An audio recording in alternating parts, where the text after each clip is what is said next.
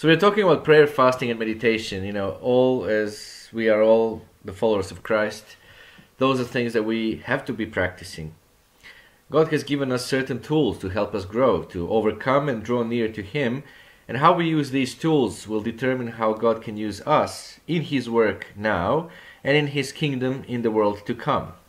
Now, these tools are, as you all well know, Bible study, prayer, fasting, and meditation. Now, let us see today how we should use personal prayer, fasting, and meditation to this end. First of all, prayer, brethren. The question is, should we pray? I think that, you know, that's a question that we all would respond to yes, of course. Now, having said that, we need to keep in mind that God Almighty is the source of everything.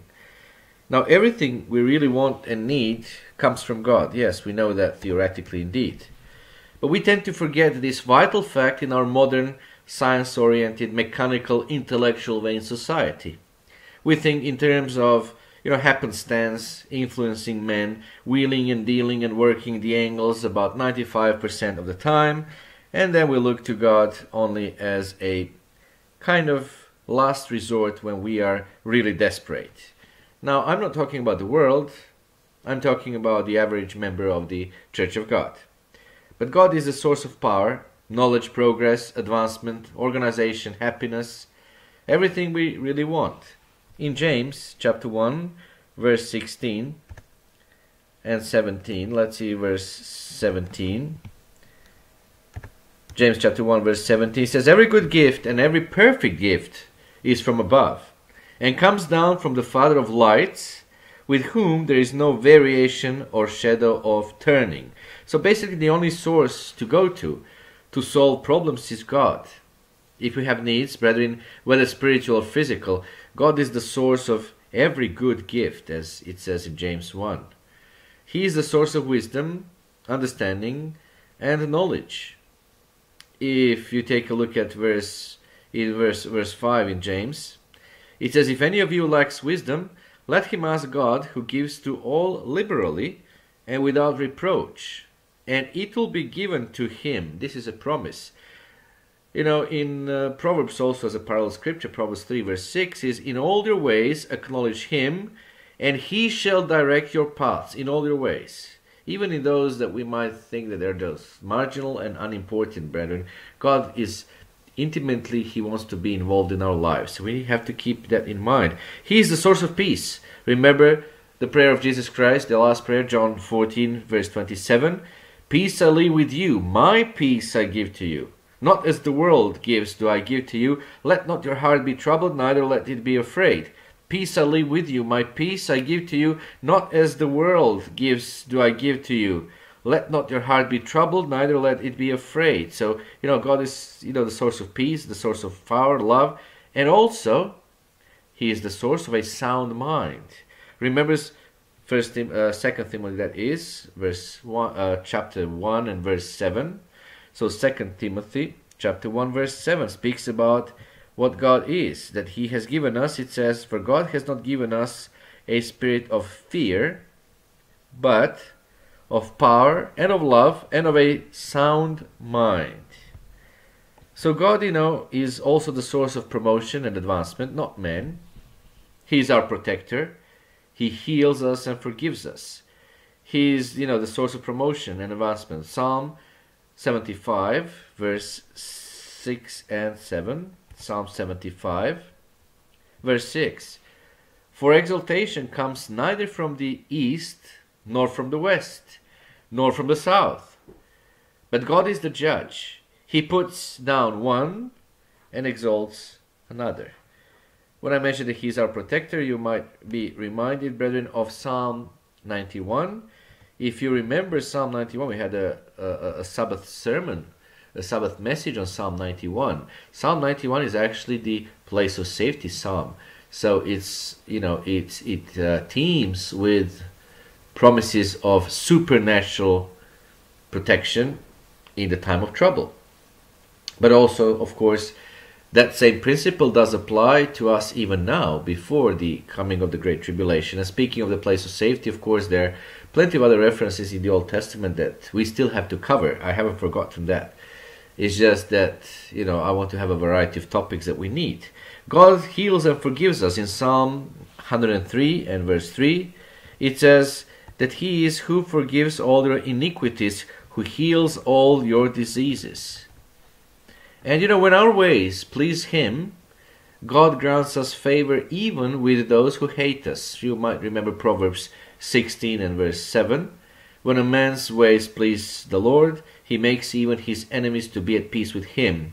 Now, God's promise in Proverbs 6 and 3 that if we seek his help and guidance in everything we do, he'll make even our thoughts a reality. Proverbs 6 verse 3. So do this, my son, and deliver yourself, for you have come into the hand of your friend. Go and humble yourself, plead with your friend. Now, brethren, do we believe this? You know, we are one of a select few who can talk to God at this time and have, you know, we have the access to his throne through Jesus Christ. So we are one of these, you know, select few who can talk to and be helped by the God creator of all that exists. Now realize as we go to God that, you know, we are actually going to the source and the fountain head of all things. And also that he's able to bring about what we want and need. So our Father has that power, you know, to make it right no matter what our problems and set us free from guilt, trouble, sickness, trials.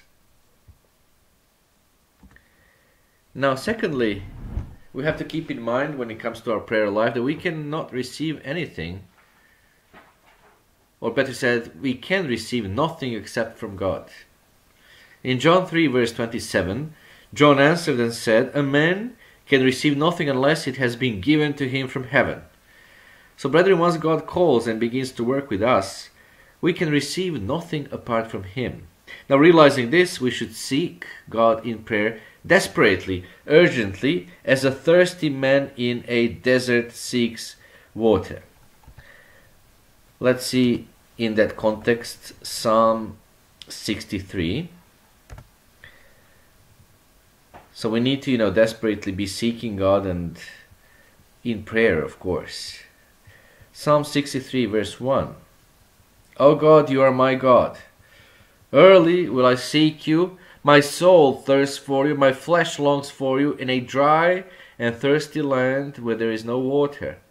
So I have looked for you in the sanctuary to see your power and your glory. Verse 3 Because your loving kindness is better than life my lips shall praise you. Thus I'll bless you while I live. I'll lift up my hands in your name. My soul shall be satisfied as with marrow and fatness, and my mouth shall praise you with joyful lips. When I remember you on my bed, I meditate on you in the night watches, because you have been my help. Therefore, in the shadow of your wings I will rejoice. So this was the this was the excerpt from Psalm 63, verse 1 through 8. Now, without God's direction, brethren, without His guidance, favor, power, and help, we can accomplish nothing worthwhile or of lasting value. In John 15, again, the last prayer of Jesus Christ, this time verse 5, John 15, 5, he said, I am the vine, and you are the branches. He who abides in me and I in him bears much fruit. For without me, you can do nothing. So, what we do ultimately accomplish, or the spiritual progress we make or fail to make, is in direct proportion to our realization of this fact. Keep in mind also Psalm 121 and verse 1. So, the first verse in Psalm 127, that is. So, Psalm 127, verse 1 Unless the Lord builds the house, the labor in vain who build it, Unless the Lord guards the city, the watchman stays awake in vain. Then the third point, keeping in mind, of course, our prayer life, is something that God requires of us, brethren. He requires that we ask. Matthew chapter 7 and verse 7. Matthew 7 7 Ask, and it will be given to you. Seek, and you'll find. Knock, and it will be opened to you. For everyone who asks receives, and he who seeks finds, and to him who knocks it will be opened. Or what man is there among you who, if his son asks for bread, will give him a stone? Or if he asks for a fish, will he give him a serpent? If you then, being evil, know how to give good gifts to your children, how much more will your Father who is in heaven give good things to those who ask him? This is actually from Matthew chapter 7, verse 7 through 11. So, brethren, God requires that we ask and that we seek that which we need in order for us to draw near to Him in a close, personal father son relationship. He wants us to learn to trust, rely, and look to Him as the source of everything. Please go to Luke 18, a well known parable to you and me, but we will just rehearse it and be reminded of it because we're speaking about the fact that God requires us to ask Him in prayer. So, in addition, God wants us to learn to persevere in prayer. And boy, oh boy, when I have said that, I am wondering how impatient I am myself. And, you know, shall I guess, brethren, that many of you, or all of you, have exactly the same problem. We need to persevere in prayer. Sometimes we just feel desperate that the answer is not coming or hasn't come yet, and we just we just feel so desperate and impatient. The parable of the unjust judge shows us this principle, perseverance in prayer. Luke 18, verse 1. Then he spoke a parable to them. So this is Jesus speaking to his disciples. He's speaking this to us as well, brethren, today. That men always ought to pray and not lose heart, saying, There was a certain in a certain city a judge who did not fear God nor regard men. Now there was a widow in that city, and she came to him, saying, Get justice for me from my adversary. And he would not for a while, but afterward he said within himself, Though I do not fear God nor regard men, yet because this widow troubles me, I'll avenge her, lest by her continual coming she weary me. Verse 6 Then the Lord said, So this is the same Jesus Christ, the same yesterday, today, and tomorrow, who is telling us, brethren, he said here what the unjust judge said. And shall God not avenge his own elect who cry out day and night to him, though he bears long with them? I tell you that he will avenge them speedily. Nevertheless, when the Son of Man comes, will he really find faith on the earth? Now, by praying faithfully and steadfastly about problems or needs until God definitely answers one way or another, we build perseverance into our character. I guess perseverance and patience, brethren. At least in my case, building that one seems to be the most tedious task of all. In 1 Corinthians chapter 15, the resurrection chapter, verse 58 tells us, Therefore, my beloved brethren, be steadfast, immovable, always abounding in, in the work of the Lord, knowing that your labor is not in vain in the Lord. So, brethren, keep that in mind. It doesn't matter how little our numbers are. The number we're not into numbers. The Church of God is never into numbers. The the moment we start worrying about numbers, brethren, that moment we start slacking and being discouraged. And that moment we are just being on the wrong track. It's not about the numbers. It has never been about the numbers. So we should never be discouraged about how little flock we are. You know, be not afraid, little flock, for it was God's Father. Remember, the motto of the feast is the will of your Father to give you the kingdom. So we are to, you know, we are to know that our labor in any moment is not in vain. Oh, yes, I understand. We have been abused by various powers. We have been deserted by those who are supposed to lead us. We have been left to fend by ourselves, by those who are supposed to shepherd us. But, brethren, even that, all that is not in vain. All that builds certain types of character and whatever we have done in the last how many years we have been called by God and being in the church and all the turbulences that we have survived, brethren, it's not in vain in the Lord. Nothing of that is in vain. Because this is what it says in Corinthians 15 58 that we are, you know, we have remained steadfast, immovable Oh, yes, we failed. Of course, we're not perfect, but we still remain steadfast in the truth. We still wanted to be a Philadelphia remnant. We wanted to be congregated and have this kind of brotherly love that we yearned for for years and years. And we have remained steadfast, immovable, and still abounding in the work of the Lord. And all that labor that we have performed so far, brethren, is not in vain. Not at all. Then the question comes when should we pray? When should we pray? Well, there is nothing permanent about a spiritual mind in a physical body. I'm sure that some of us who are of the age certainly do understand that much better. When we are younger, you know, we think that the whole world is in front of us and that we have a whole eternity in front of us. But now we understand that that's not the case.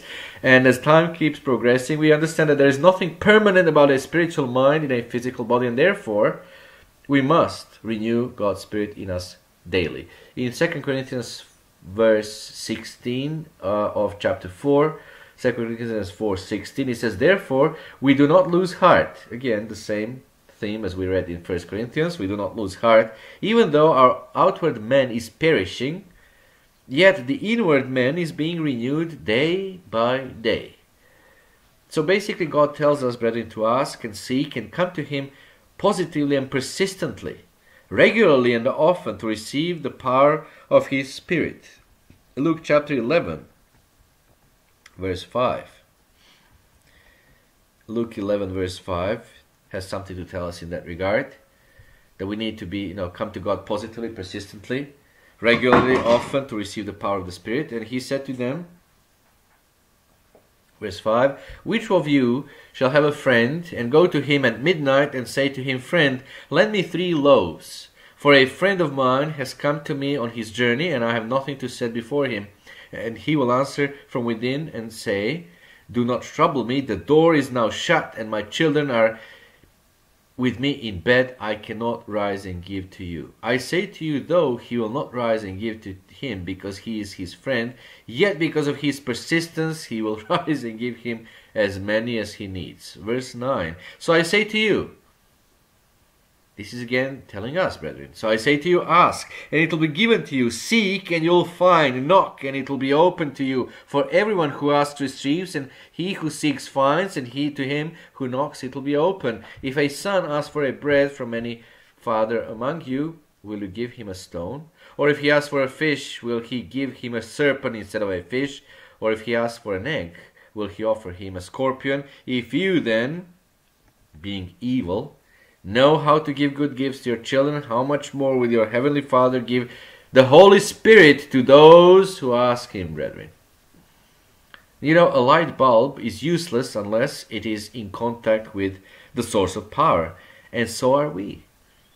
Jesus set the example for us of getting early in the morning and spending the first part of his day in prayer before anything else could interrupt in Mark chapter 1 verse 35 We'll just read it in a moment. And also we'll read in Psalm 5 verse 3 that David also said in that psalm that he prayed early in the morning. Mark 1 35. Now in the morning, having risen a long while before daylight, he went out and departed to a solitary place and there he prayed. Now, of course, don't don't misunderstand me. We live in different day and age, so of course I don't understand. I don't expect you to be rising up that early in the morning. We have a different rhythm of the day. You know, brethren, in those old days there was no electricity. People would go to bed very early. You know, they would rise in Jerusalem. The the dawn comes at six six a.m. You know, the sunset was usually around six a.m. So you know, times were different. Night was very long, and we today live in a very busy day and age. And again, I'm not advocating that you, you know, rise up and, and lose your sleep. Not, not at all, because I understand how malfunction I, I, I, I am malfunction I am when I don't get enough sleep. So no, the point is just that you know if we can get the prayer before we start into our daily routine, that's what it is. Because you know in that way we would just be empowered by God's Spirit. In Psalm 5 verse 3, King David says, My voice you shall hear in the morning, O Lord. In the morning I'll direct it to you and I'll look up. So the you know the point is that our prayer should be priority. Yes, sometimes I understand it, it, can be a routine that we just fall into routine and this you know it becomes stale. Yes, it's true, but you know still, uh, the point is that we should you know dynamically ask God. It doesn't have to be sometimes too long. It doesn't have to be uh, to elaborate. It's just, you know, the purpose is that we have God first on mind when we open our eyes. And the point is that, you know, in the morning, or some of you have different night shifts perhaps, you know, in, in, in the case of my cousin Sean, it will be like, you know, it will be in the afternoon. But the first thing that when you open your eyes, that God will come to our minds and the need to connect with that power. That's what it is because, you know, a light bulb is useless unless it is it is being screwed onto the source of power. So we need to kind of screw the uh, screw our minds onto the power of God. That's the point. That's the purpose. In Daniel chapter 6 and verse 10, in Psalm 55, we're going to read in a minute verses 16 and 17. We have a couple of examples of Daniel and David. They were men entrusted with the highest governmental powers of major kingdoms. In fact, a very busy man. I'll remind you, Daniel was the uh, main librarian at the Babylonian Library, brethren, Babylonian State Library. And you know having having such an access to all the you know Babylon would always conquer other countries and then they would take all kinds of literatures and written materials from those countries. That's that's how that is how David was able to uh, study the Bible it was there in the library and by you know by extension he also participated in the canonization of the Old Testament now, how the Bible came to become a book and how it was canonized, it's a very exciting and beautiful story, and uh, God willing, one of these days we're going to go over that. It is amazing how God used various men to preserve His word. And then we have David. You know, David, I'll remind you, he was the king of the United Kingdom of Israel.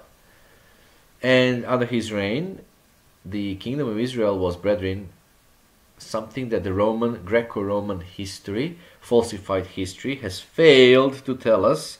The kingdom of Israel, brethren, was one of the world ruling powers. It was allied with Tyre, Tyre, with the city of Tyre, and with Phoenicians, and with Sidonians. Uh, the maritime, you know, the, the, the, the, the, maritime lines and the, the sea, the kingdom of Israel was a sea power the American, the North American continent was well known to the ancient kingdom of Israel, brethren. But the Romans and the Greco and Greeks did not know that because, you know, to Gibraltar, from Gibraltar and the Mediterranean was all that they knew. Israelites were smart enough never to tell them that beyond Gibraltar and across the Atlantic Ocean there is a beautiful and marvelous country today known as the United States of America. So those are all very interesting historical facts. You know, history, brethren, the true history is so exciting and so beautiful and so marvelous. And we can be very thankful to an author called Stephen Collins, and thankfully here in the library, The Hope of Israel, we do have all the four volumes, or three volumes that is. I have one more, I guess, and several others I haven't been able to obtain, unfortunately. But yes, we do have some volumes speaking about the truth about the Israel Israelites at the time of King David and how mighty they were, brethren. They were a sea power. They were one of the world powers. So those two, the point is, the very busy man David had to rule that kingdom and keep it intact. Daniel was the main librarian. So we have the you know very two very busy men who set the example for us of praying three times a day, morning, noon, and night. Yeah, that's even today part of the Jewish, you might say, custom and rite. But since those examples are written for us in the Bible, we need to make these examples part of our way of life. Daniel chapter 6, verse 10. Now, when Daniel knew that the writing was signed, he went home and in his upper room, with his windows open toward Jerusalem, he knelt down on his knees three times that day and prayed and gave thanks before his God as was his custom since early days. In Psalm 55, verse 16 and 17, as for me, David says, I'll call upon God, and the Lord shall save me. Evening and morning and at noon I'll pray and cry aloud, and he shall hear my voice. Now, of course, I realize due to you know uh, different routines, daily routines that we have, uh, perhaps praying at noon may not be always an option. But sometimes, you know, we can always kind of, if possible, get secluded into a secluded area and pray, brethren, because praying people are producing people without exception. We must get that prayer in. Nothing is more important. The closer we can stay to God and the often, more often, the less we will sin and the more we will accomplish. if we really grasp the fact that all we need and want comes from God, and our success, failure, happiness, troubles are in direct proportion to the extent to which we commit everything to Him in believing prayer, we will begin to fear to make plans or do anything without seeking His counsel and help. We read in Proverbs 3, let's, let's, let's remind ourselves, verses 5 and 6 Trust in the Lord with all your heart and lean not on your own understanding. In all your works acknowledge him, and he shall direct your paths. We do indeed have a one little sign here up there in the library, exactly the quote from Proverbs chapter 3, verse 5. Now be instant in prayer. Ask for wisdom before business meetings, you know.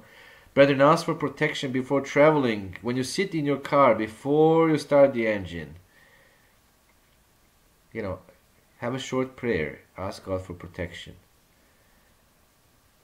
You know, ask for compassion and patience before going home, tired to your family at night, because some of you work in different, you know, different hours.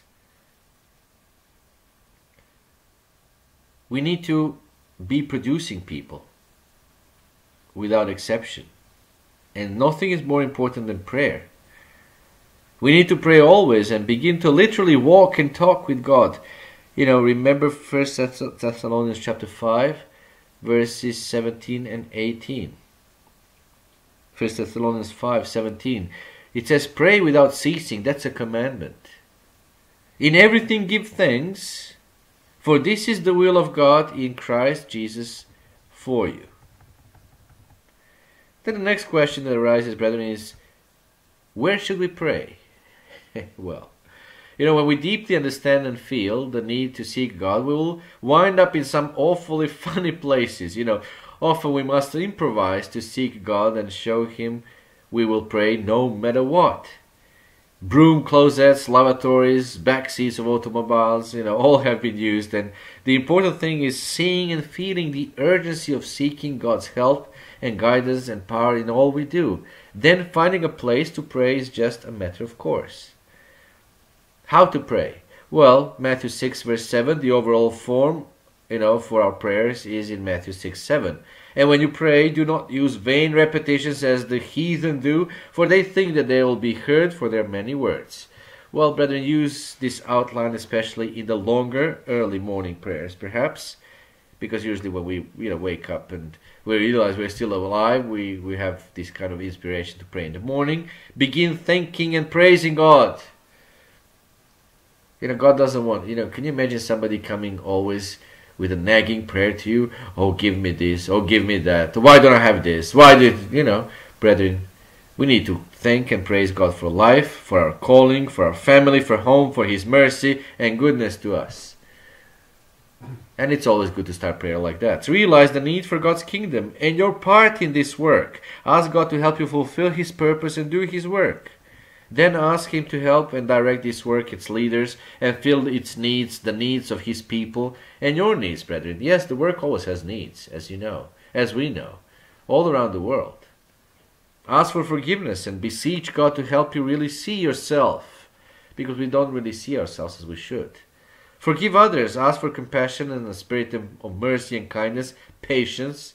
Ask God to keep us from temptation, to help us resist Satan, this world, ourselves and to make us soft yielded pliable humble so that you know sore trial is not necessary to make us see the need to change ask god to help satan to keep satan that is help us to be kept away from satan but to keep satan and his demons away from this work and from you and to set his angels about those in his work and you and your family then end praising god brethren now realize that God, of course, you can praise for, you can pray, and we should pray for the health and for the needs of the others. That's that's that's. I mean, I I, I presume that you are all aware of that.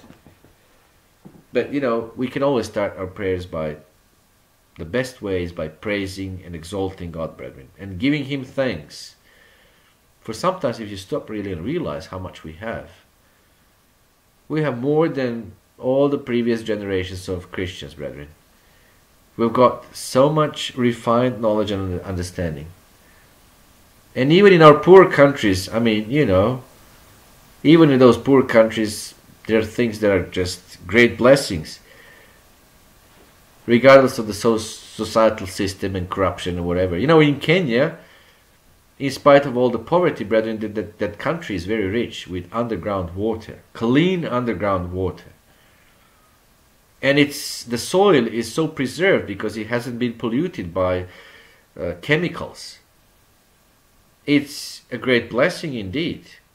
All the people would need to know is just join some hands and dig some wells and uh, sow that seed, organic seed, and you'll see how it will grow. And then keep the seed, of course, and keep you know sowing it over and over again.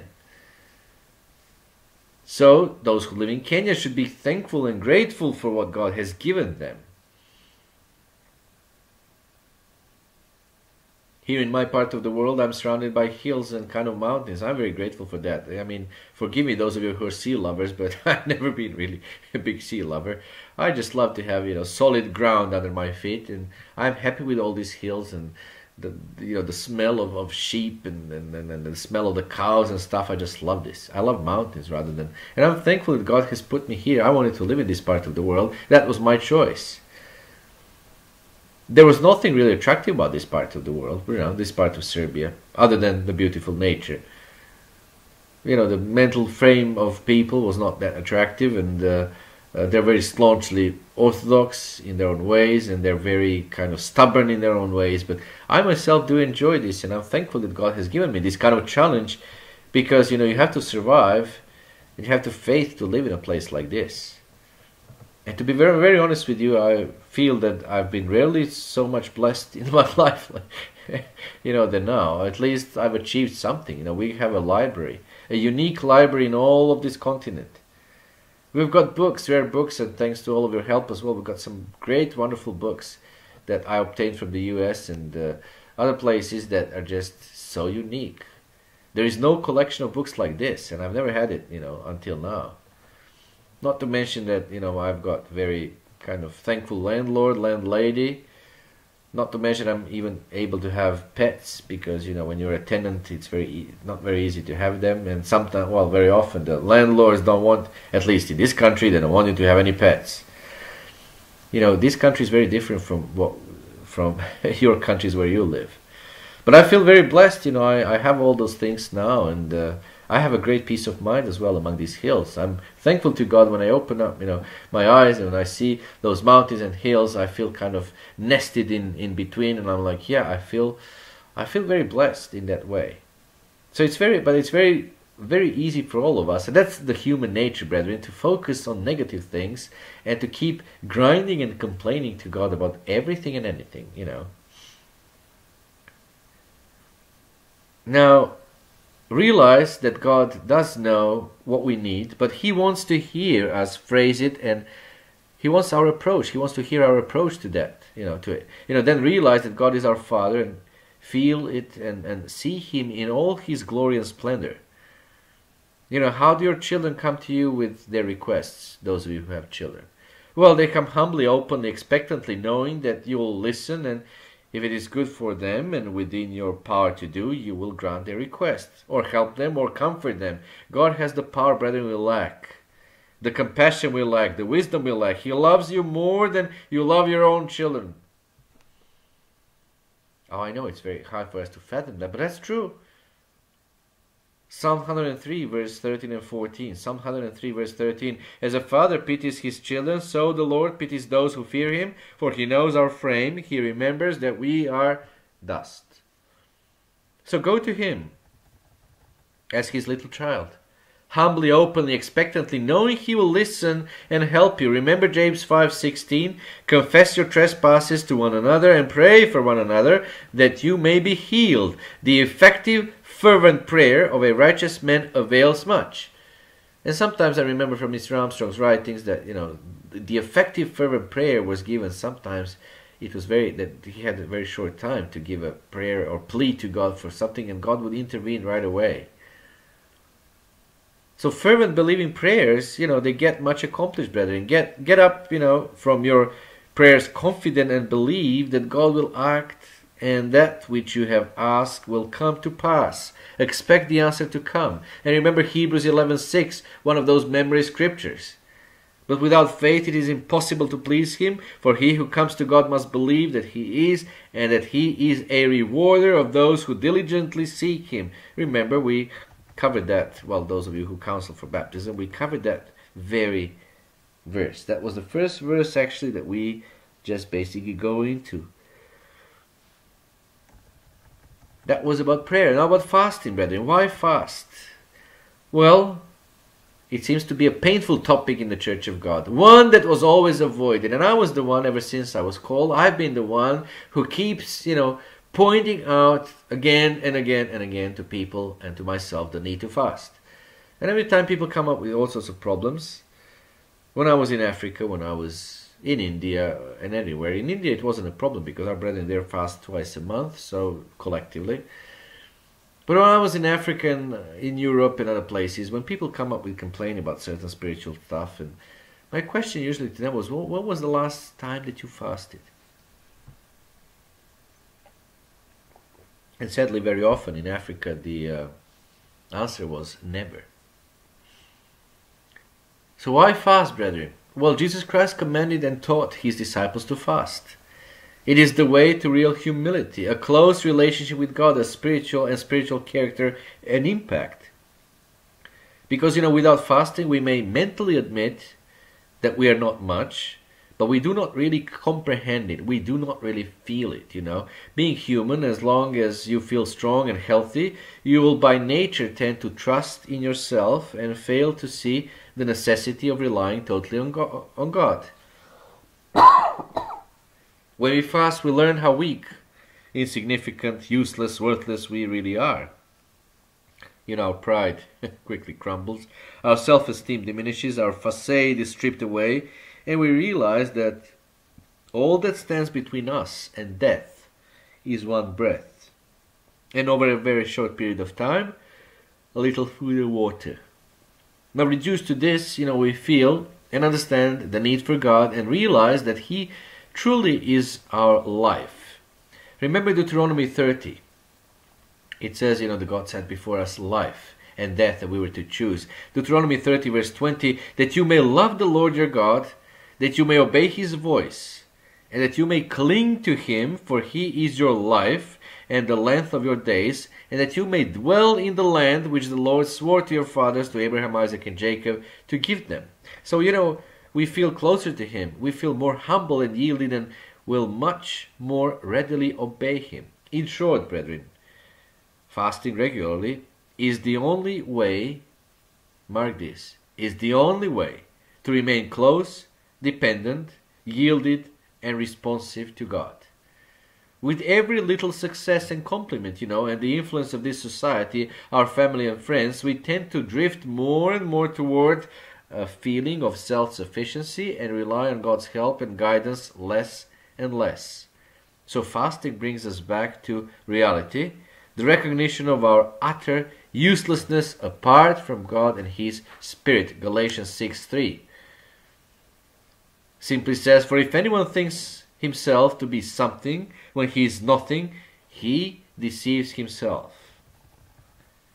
In the you know in the case of Galatians, there were those who thought that there was something because they'll be circumcised, and yet Paul was telling them how useless that ritual is that has nothing to do with salvation. And if you want to, you know, use that ritual law, then why don't you just start using all the ritual laws and just convert to Judaism? And do you know all the pharisaical things rather than being free in Christ. How often? Well, I think we you know that we have established that that fasting regularly requires self-discipline and therefore results in the development of stronger char- strong character. Now, in this wishy-washy age, brethren, wishy-washy age, you know, men of character and purpose, those willing to sacrifice. Oh, I said the word that is not even used anymore in English and other languages sacrifice. Those willing to sacrifice and endure hardness are few and far between. Well, 2 Timothy chapter 2 verse 3 tells us that you therefore must endure hardship as a good soldier of Jesus Christ. And sure enough, we don't really know what Timothy endured because later in, in the church history we don't find him. We don't find any records of him. So it seems that the Gnostic apostates who infested the early church actually pushed out Timothy and those few faithful pushed them out of their fellowships, brethren. And we can just imagine what hardship Timothy had to endure. Now, those who will grow spiritually and be used further by God in His work should fast regularly, about once a month on an average. That's what we established sometime when I was in the past, and hopefully now we're trying to kind of fast around the new moon so that we'll just also incul- inculcate in our minds the need to follow God's calendar. Now, of course, if you know we're got, if we're going to grow spiritually and be used further by God in His work, we should ask regularly. What does happen with those who do not fast at all? Well, you guess. They do not grow spiritually and they will not be used further by God. And finally, meditation. Now, what is meditation? Why meditate? Brethren, meditation speaking, of course, from a Christian point of view, and speaking from the Bible point of view. The true meditation, the true meditation or Christian meditation, has nothing to do with these Eastern, Oriental philosophies and practices. Meditation is simply taking a certain theme problem, scripture, and dwelling on it. You know, asking why, how, when, where, and determining what is the end result. Then determining whether or not that is the result you want. It is a matter of looking at things from God's point of view and is the key to keeping things in their proper perspective. So you can meditate about, say, your job you can lose it, will you? What steps can you take to ensure your job?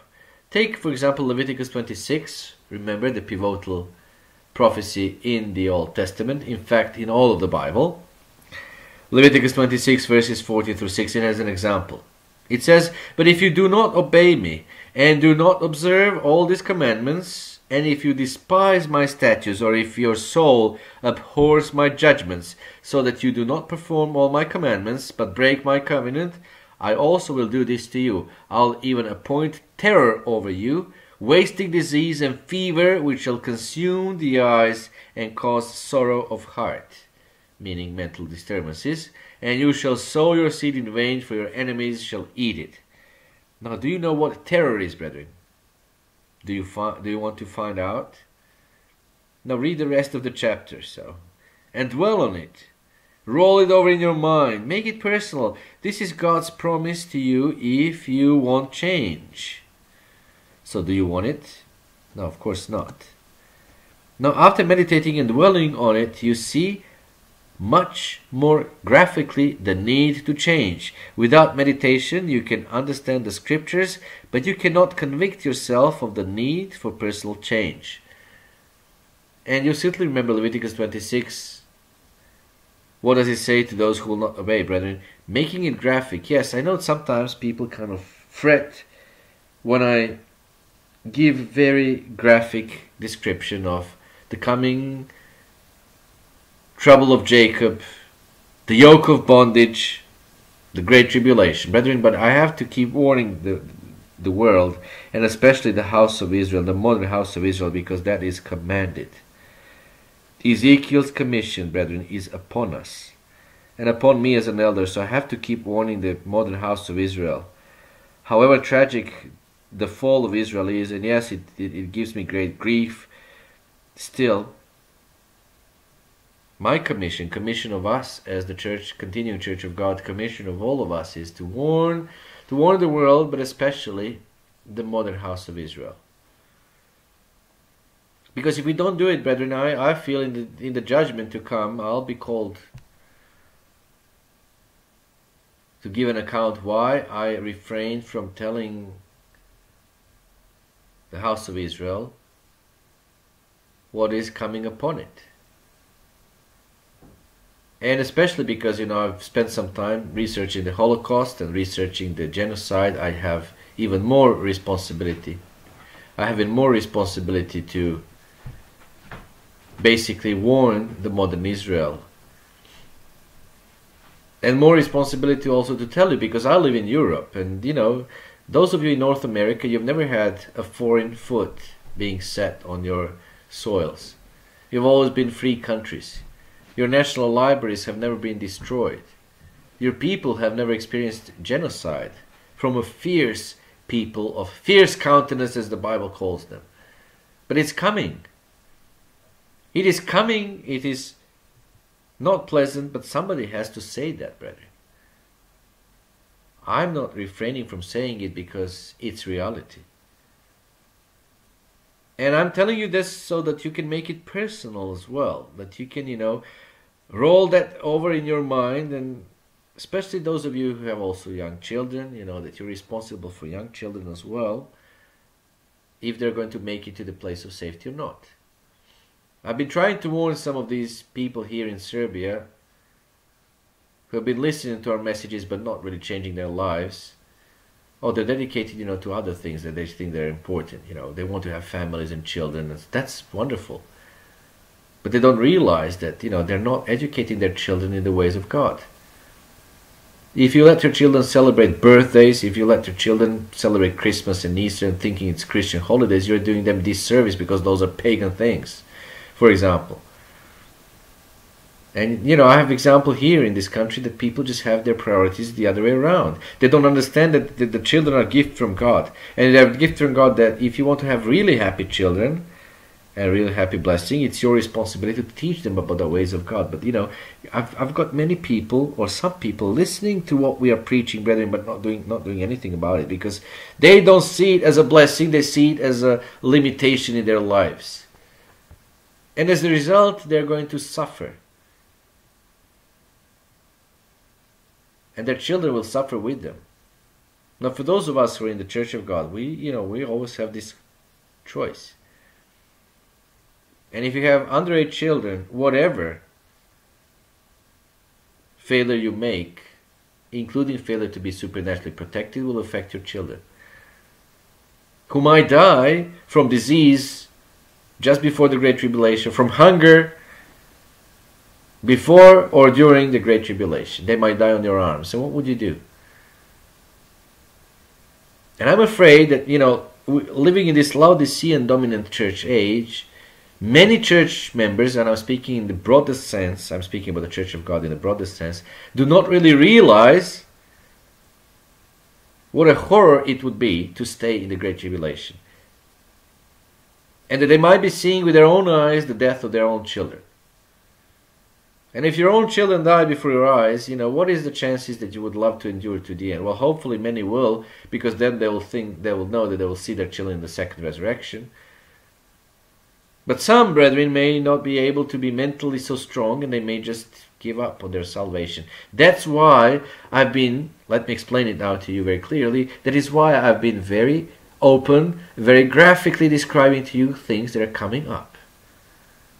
Because unless we're being mentally ready for that, and if some of us stay behind, if we're not mentally ready, then chances are good. There are good chances that we may just lose our salvation. Now, anyway, do you know what terror is? Do you know? You know? Do you want to find out? And among those curses are also eating your own children. You know, horrible things. So, you know, roll it roll these things over your mind, brethren. Ezekiel's commission as well. You know, make it personal. Now this is God's promise to you if you want change. Do you want it? Of course not. You know, the warning in Ezekiel chapter, speaking of Ezekiel's commission, Ezekiel chapter 34, oh boy, and I think I'll give a message about that as well. About those bad shepherds of Israel, brethren, I make it personal. I make it personal. I fear when I think about those scriptures. Those, you know, shepherds who clothe themselves rather than feeding the flock. That's horrible. God gave us a commission, Ezekiel's commission, and can you imagine? Can you imagine being allowed to see it like that and clothing yourself? And clothing yourself, by the way, has an implication of of uh, securing ranks within church hierarchy. By the way, It's awful, brethren, but I make it personal. When I think about that scripture, I make it personal. I keep questioning myself all the time. Okay, are you a good shepherd of Israel? Can you be better? Of course you can. You have to be better. So after meditating and dwelling on, you know, on it, you should see much more graphically the need to change. Without meditation, brethren, you, you can understand the scriptures, but you cannot convict yourself of the need for personal change. Now, how to meditate? It's also a good question. Proverbs chapter 4, verse 26. Ponder your course of action, your way of life. Consider the end.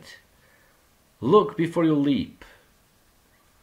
You know, the book of Proverbs is a ready-made, ready-made key to meditation. Proverbs 4:26 Ponder the path of your feet and let all your ways be established. Now, these are the conclusions of Solomon through meditation. Read them and reverse the process, brethren. Read the conclusion and then go back and fill in the thinking and meditation. Psalm 1, the psalm we all very, very well know. I have a hymn. It says, verse 1 Blessed is the man who savors and loves God's law because it is good and right, and who meditates on it day and night. Blessed is the man who walks not in the counsel of the ungodly, nor stands in the path of sinners, nor sits in the seat of the scornful. Verse 2 But has delight, his delight is in the law of the Lord, and in his law he meditates day and night. He shall be like a tree planted by the rivers of waters that brings forth its fruit in its season, whose leaf also shall not wither, and whatever he does shall prosper. The ungodly are not so, but are like the chaff which the wind drives away. Therefore the ungodly shall not stand in the judgment, nor sinners in the congregation of the righteous. For the Lord knows the way of the righteous, but the way of the ungodly shall perish. Well, when the ungodly do not meditate and are not grounded and rooted in God's word, but they are shallow like chaff. Joshua chapter 1, verse 8. God commands us to meditate on His law day and night in order that we might, you know, obey and do those commandments. Joshua 1 8, it says about the book, the book of the law, the one that we're going to read in a couple of weeks. The book of the law shall not depart from your mouth, but you shall meditate in it day and night, that you may observe to do according to all that is written in it. For then you will make your way prosperous, and then you will have good success. Now, the place to begin is, of course, with the Ten Commandments. Let's take number seven, for example. Thou shalt not commit adultery. Why not? You know, isn't it enjoyable? Yes. Even Hebrews 11:25 says sin is pleasurable for a season. It says choosing rather to suffer. Moses choosing was choosing rather to suffer affliction with the people of God than to enjoy the passing pleasures of sin, because Egypt was that you know symbol of sin, brethren. But then what? Well, read Proverbs 6, 2 Samuel 13, Genesis 34, and Revelation 21. We're going to read that in a minute, certain verses out of those scriptures. And you'll find out that the immediate result may be death at the hands of her irate husband, your reputation ruined, and a nagging guilty conscience. Later may come a venerable disease or a pregnancy, further complicating matters. Remember how David committed adultery with Bathsheba. Your own wife or husband, you know, finds out and is heartbroken, and your once happy marriage and home is a shambles. Your wife or husband and children no longer can look up to you or trust you. You are destined to carry this scar for the rest of your life. Proverbs 6:23. And especially you younger children listen to this. You young men listen to this. And you parents read them this. Proverbs without any shame. Tell them and warn them. Verse 23 For the commandment is a lamp and the law a light. Reproofs of instruction are the way of life, to keep you from Listen, you young men, to keep you from the evil women, woman, from the flattering tongue of a seductress. Do not lust after her beauty in your heart, nor let her allure you with her eyelids. Verse 26 For by means of a harlot a man is reduced to a crust of bread. Now, yes, young men, we do understand sexual sexual drive. It's God-given gift, not to be misused with harlots. It's a God-given gift to be enjoyed in a right marriage. And an adulteress will prey upon his precious life. Listen, young men, Verse 27 Can a man take fire to his bosom and his clothes not be burned? Can one walk on the hot coals and his feet not be seared? So is he who goes into his neighbor's wife. Whoever touches her shall not be innocent. Verse 30 People do not despise a thief if he steals to satisfy himself when he is starving, yet when he is found, he must restore sevenfold. That was the Old Testament law, by the way. He may have uh, to give up all the substance of his house. Whoever commits, verse 32, adultery with a woman lacks understanding. He who does so destroys his own soul. Did you hear that, young man? And you teenagers, you want to destroy your soul? Just get involved. You just need to get involved in adultery and fornication pornography and it's going to destroy your soul and bring terrible mental anguish that you do not want. And we younger, we older ones are telling you this from our experiences. We're not telling you something that is just a theory. Before we were converted and called by God, our souls were destroyed with all these wrong uses of sex. Okay? And there is no shame to speak about that. We have to tell you and warn you about that, young people. Verse 33 Wounds and dishonor he will get, and his reproach will not be wiped away. For jealousy is a husband's fury. Therefore he will not spare in the day of vengeance. He will accept no recompense, nor will he be appeased, though you give many gifts young men, Proverbs 6 23 through 35, we have just read. Mark that, type it out, keep it in your mind burning. If not, you're going to destroy your soul. And wrong sexual habits are very nasty and they're very hard to break. And yes, we older people can tell you that again from our own experiences. And the least that we want you, young people, to suffer is to go the wrong ways and practice the wrong ways that we sadly practice because there was nobody, in many cases, nobody to tell us how wrong it will be and how much we were going to destroy our souls. 2 Samuel chapter 13 verse 14 and 15. However, he would not heed her voice, and being stronger than she, he forced her and lay with her. This is talking about, again, misuse of sex. We're talking about one of David's sons. Forcing himself on his half sister. Verse 15 And Amnon hated her exceedingly, you see. He was withering away to have sexual relations with her, and then, after having done that, she became disgusting to him. Well, that's what happens when you misuse sex. Hated her exceedingly so that the hatred with which he hated her was greater than the love with which he had loved her. And Amnon said to her, Arise, be gone. Verse 22 And Absalom spoke to his brother Amnon, neither good nor bad, for Absalom hated Amnon because he had forced his sister Tamar.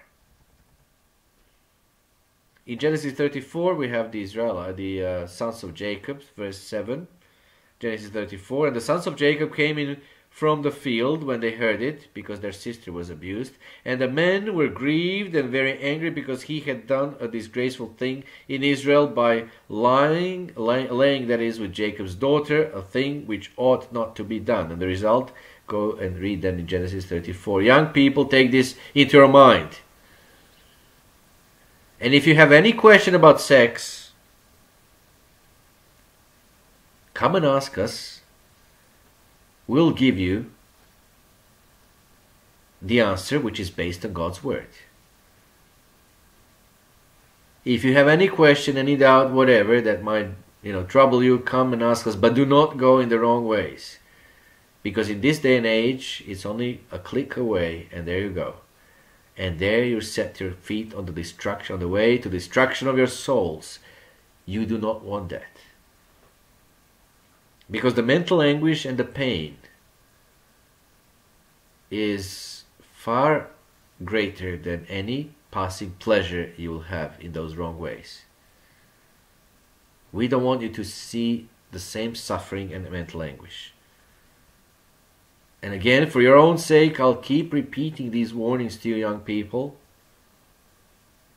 Again and again. I cannot, of course, prevent you from making wrong choice if, if that's what you'll determine to do. But at least my conscience before God will be at peace that I warn you in time.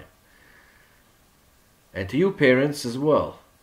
We're not Catholics, and we're not to be ashamed of something that is part of what God created in us and again, if you have, if you feel still shame and you feel uneasy, okay, let your children ask the others of us. We will just, you know, tell them about the mental anguish and we'll try to encourage them not to make the wrong choices. But we must not, brethren, let this world educate our children about matters as important as sexual relationships. We must not let the world do it because so often we have done it.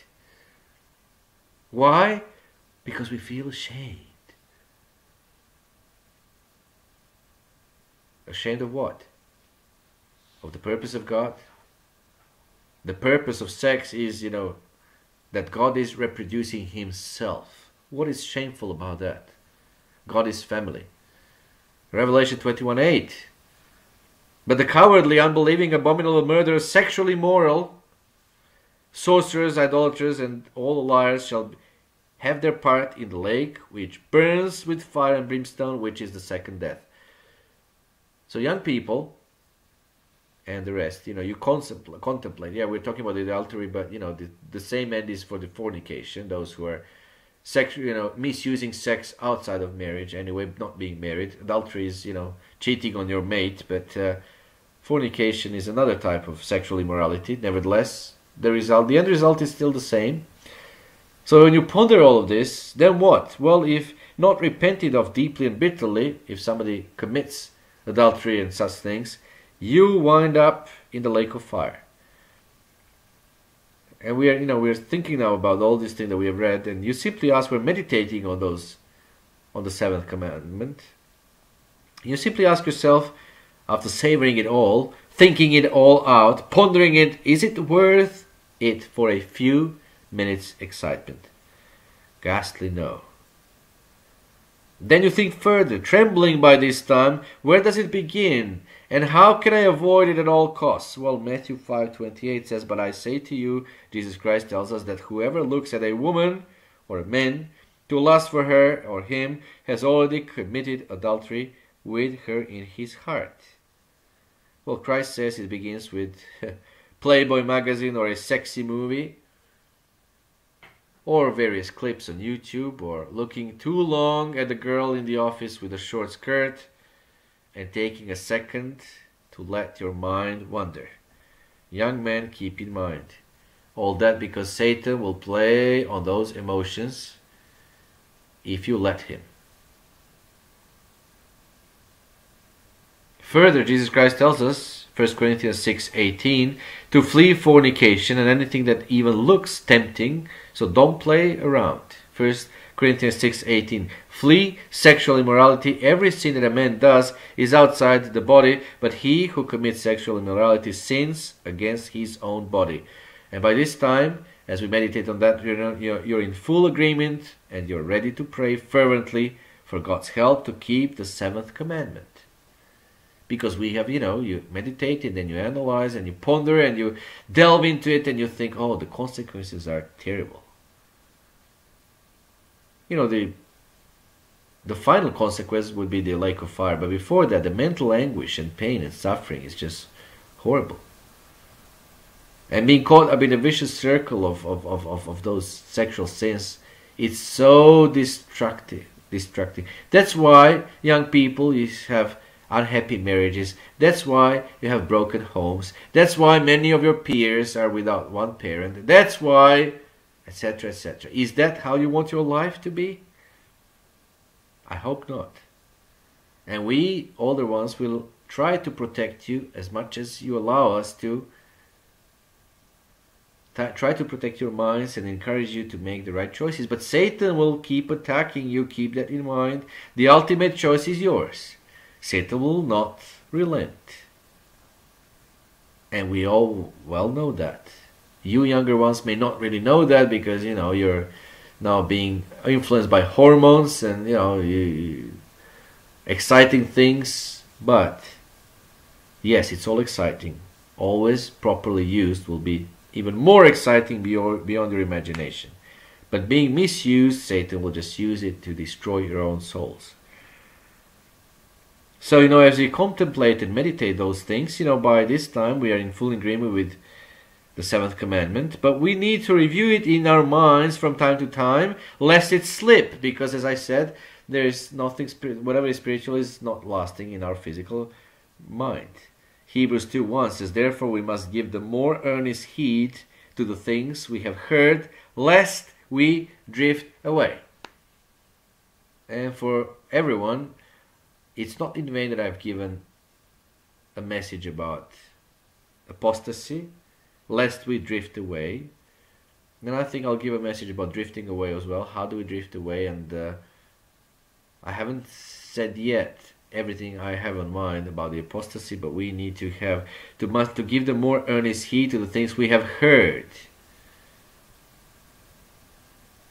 And today I downloaded a nice nice poster saying it's time for God's people to stop speaking and listen to what God has to tell, say things we have heard, things that we'll hear repeatedly. Brethren, many people did listen to those things, the same things in the times past, in the WCG days.